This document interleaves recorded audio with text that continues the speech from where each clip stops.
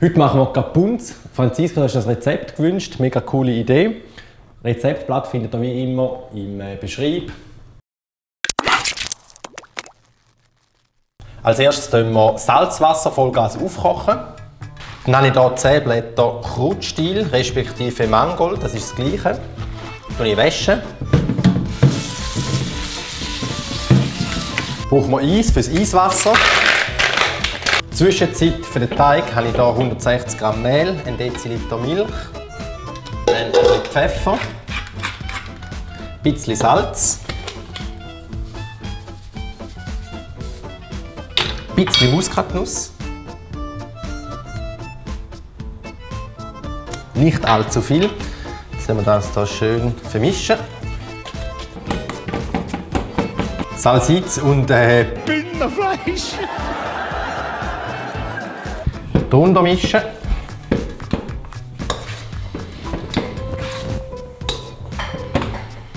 Dann langsam wird es zur Gewohnheit, dass wir etwas vergessen. Das Ei natürlich gehört auch noch dazu. Ich gebe jetzt hier auch noch drunter.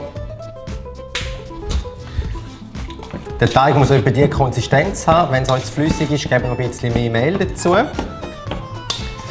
tun wir jetzt die Mangoldblätter blanchieren. Blanchieren heisst einmal stark oder ganz schnell aufkochen und nachher im Eiswasser abschrecken. Da geht es vor allem darum, dass er nachher äh, die Farbe schöner erhalten bleibt. Zum einen, zum zweiten, dass die Blätter ein bisschen weicher sind, dann gehen sie nachher besser zum Rollen. Sobald es kocht, wieder rausnehmen und direkt ins Eiswasser. Möglichst schnell abkühlen, das Abschrecken bleibt die Farbe schön erhalten. Gekühlt sind, nehme ich es zum Wasser raus. Anschliessend den Strunk rausschneiden. Dann hier parat legen, zum Füllen nachher. Dann Blätter flach vor einem herlegen. Hier die zwei Enden lege ich ein bisschen übereinander, legen, dass ich eine schöne Fläche habe. Dann gebe ich ein bisschen Füllung drauf. Nicht zu viel, he? sonst haben wir ein Problem mit dem Rollen.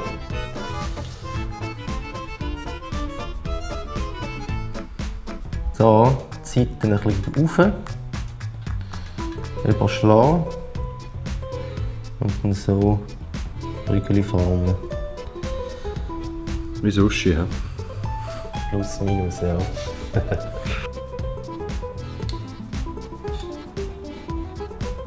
Die Serie ist konzentriert.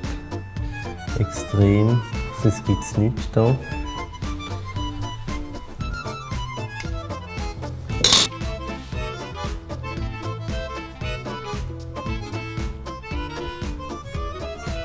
Wenn ihr so perfekte Blätter habt, ist es relativ einfach zum Rollen.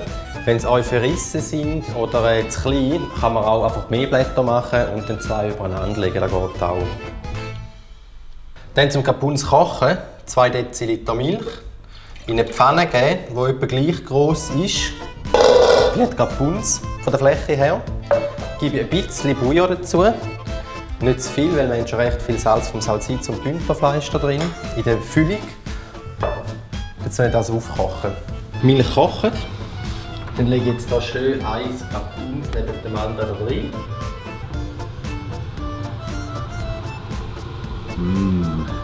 Schmeckt fein. Ich hoffe, da wird es dann auch. Mach mir keine Sorgen. habe ich hier ein bisschen geriebenen Bergkäse. Das ist jetzt Bündner Bergkäse, passend zum Thema. Jetzt sind sie hier oben drauf verteilen. Zurück auf die Herdplatte. Deckel drauf und abstellen auf etwa 5 von 9. Jetzt haben wir das 10 bis 15 Minuten äh. Gut. Wunderbar sieht das aus, hä?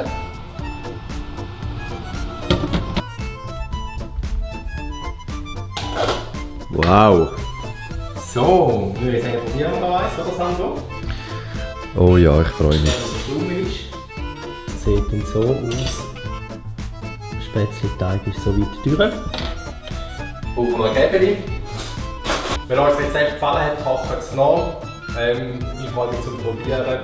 Danke fürs Zuschauen, viel Spaß miteinander. Klar.